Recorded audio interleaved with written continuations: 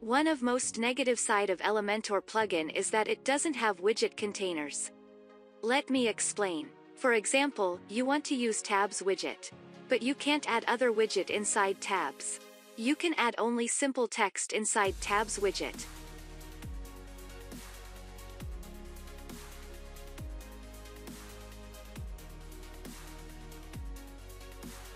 In Visual Composer plugin, you can add other sections and even rows inside tabs, but not in Elementor.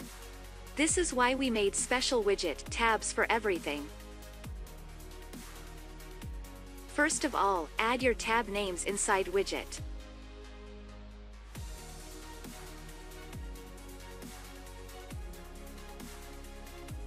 Also, copy special class which we will use for elements inside tabs. Then, add modules which you want to have inside tabs. Very important to have these widgets in the same section where you have tabs.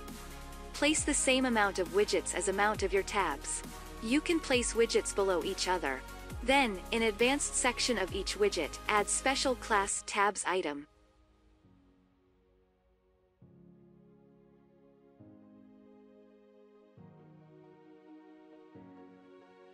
Add also class RH hidden to all widgets except first one.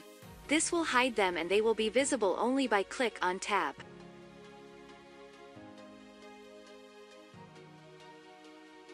If you need to edit hidden widgets, you can find them in Navigator.